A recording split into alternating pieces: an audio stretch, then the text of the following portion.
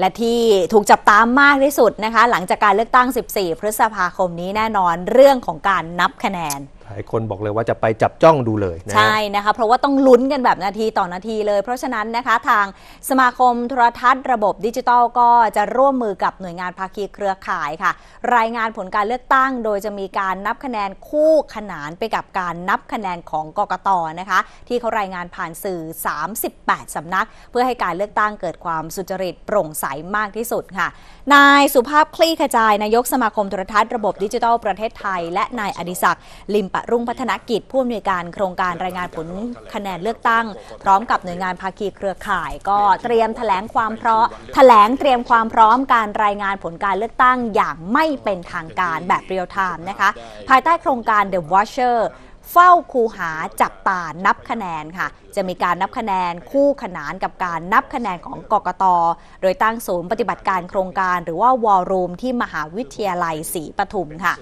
นายอดิศักดิ์ยืนยันความพร้อมที่จะร่วมกับอาสาสมัครหลายภาคส่วนนะคะ โดยหลังปิดหีบการเลือกตั้งมั่นใจว่าภายใน 2 ชั่วโมง อาสาสมัครของโครงการจะรายงานผลคะแนนจากหน้าหน่วยเลือกตั้งได้ ช่วงเวลา 20 นาฬิกาคาดว่าจะสามารถเชื่อมต่อผลคะแนนร่วมกับกกตได้ และช่วงเวลา 21 นาฬิกาก็น่าจะพอทราบแนวโน้มผลการเลือกตั้งทั้ง 400 เขต เช่นเดียวกับสัดส่วนของสสแบบบัญชีรายชื่อ ก็น่าจะทราบได้ในช่วงค่ำโดยนำเสนอผ่านสื่อมวลชนประมาณ 38 สำนัก ถือว่าเป็นความร่วมมือครั้งใหญ่ที่สุดค่ะ คือครั้งนี้ผมก็คิดว่าเป็นความร่วมมือที่เพิ่งเกิดขึ้นเป็นครั้งแรกของการทำงานในหลาย ๆ ภาคส่วน แล้วก็ได้ตกลงกันว่าแต่ละส่วนก็มีบทบาทแตกต่างกันนะครับ อย่างในแง่ของสื่อเนี่ยรวบรวมทั้งหมดเนี่ยประมาณ 38 สำนักที่ ที่รวมกันก็คือโทรทัศน์ที่เป็นโทรทัศน์ดิจิทัลทั้งของเอกชน ทั้งของราชการของของสาธารณะอย่างไทยพีบีช่อง 5 ทีวีรัฐสภา NBT ก็เข้ามาร่วมด้วยนะครับ แล้วก็สำนักข่าวที่เป็นนังสือพิมพ์ออนไลน์ กับนังสือพิมพ์แล้วก็ออนไลน์ อย่างเช่น มติชนเดลินิวไทยรัฐ แล้วก็สื่อทางด้านออนไลน์ ที่เป็นสื่อสมัยใหม่ต่างๆ อันนี้ก็ถือว่า เป็นความร่วมมือที่ที่ครั้งใหญ่ที่สุดนะผมผมคิดว่าพูดได้แบบนั้นนะครับ อันนี้อันนี้คือคือในส่วนที่